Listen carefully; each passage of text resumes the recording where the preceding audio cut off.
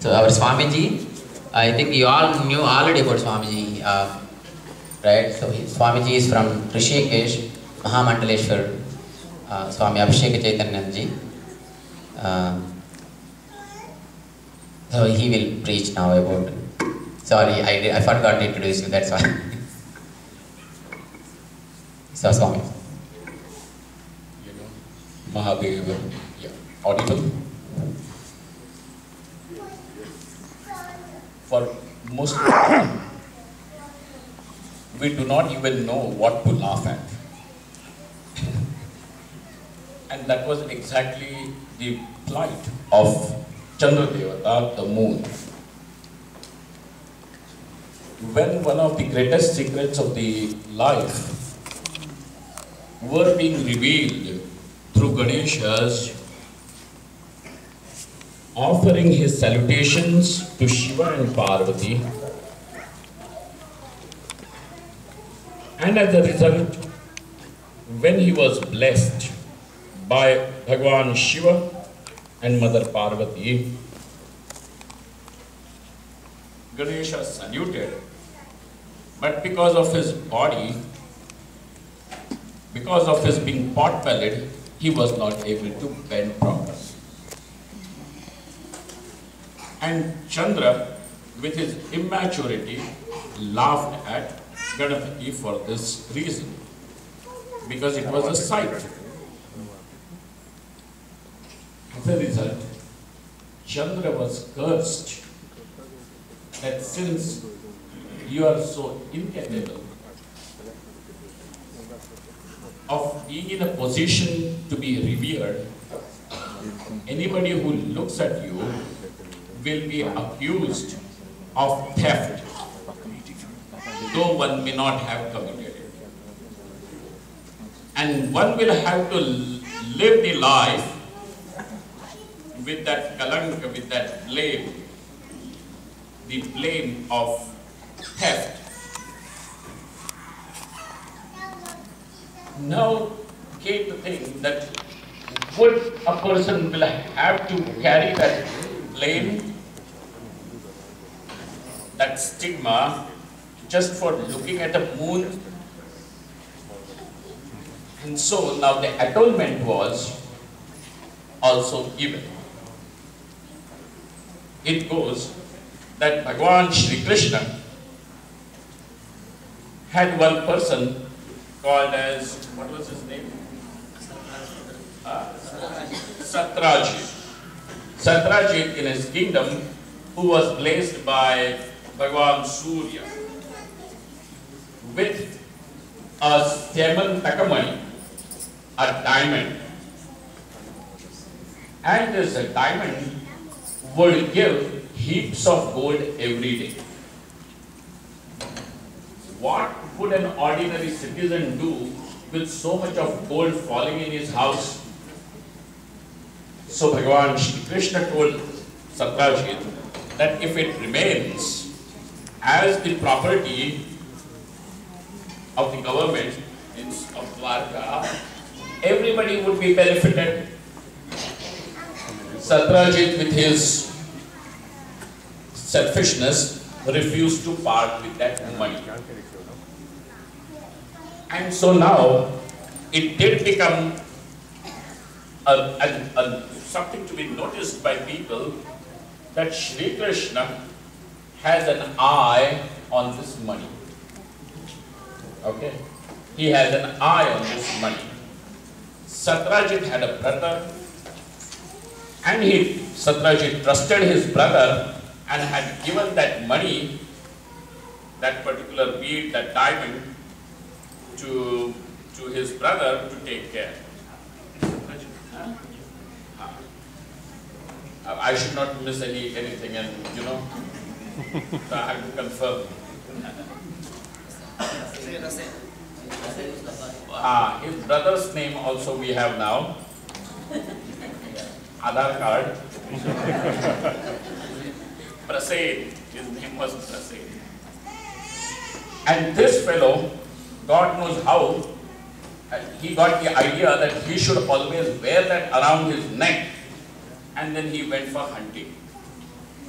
And he went hunting alone. That was another thing. And he thought that he was too valorous and he faced the lion in the, in the forest. So obviously, the horse, that Prasen, everything was killed by the lion. Now, Prasen who was carrying that money, that particular bead, was not going to return to the kingdom, but the great bear called Jambavan, who is popular in Ramayana as Bhagavan Rama's one of the you know chieftains of the army, happens to see this shiny bead and he takes it home. So now that money is lost in the bear's death. It goes. Now, people started worrying why has this Prasad not come back? And some, some soldiers, as their police department was sent over there to find out. And they found out that Prasad is dead and the money is lost. So obviously, the rest of the people who had already taken the notice, like our Indian media, which keeps on talking unnecessarily, now started blaming Bhagwan Krishna. And Bhagwan said, well, we have done nothing, I have done nothing, and yet I have to carry this blame. Now, even people from the Yadava clan, including, including Balaramji, who is his elder brother, also told Sri Krishna, if you have it, please give it back. and he, said, you people, all of you know me, and are you still saying that? And they said, we know you and that's why we are saying that. so, so now Bhagavan has to prove his innocence. So he goes into the jungle and over there he finds out that the money has been taken away by a bear. He reaches that bear's den. There he finds there is a baby bear sitting and playing with that shiny object. Now Shri Krishna says, now my chance is there, I have to take that money from this little cub and just go back to Dwaraka. And we do not know even if he was going to return just like that, people would have said, okay, we knew that you had gone. You see, we are all very intelligent. We are very intelligent in victimizing people. So, so he goes and he tries to take that money from the bear which is playing. And this baby bear, the cub, he starts crying loudly. Obviously, the big bear called Jambavan, who is a chieftain in Rama's army, combating the Ravana's forces, now appears on the scene. You touched my child, I'm not. And there begins a duel between Bhagwan Krishna and Jambavan. Bhagwan being Bhagwan and Jambavan being not a bear but a devotee. So in a, in a duel between Bhagwan and his devotee, whom do you think should win? So all of you are saying that devotee should win. You see?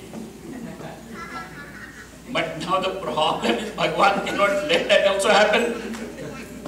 He has to go back with Simon money. And then, so I, you know, to cut the long story short, Bhagwan says that I have to appear in my form as Bhagwan Ramachandra. Otherwise, this Jambavan is not going to give up. And thus,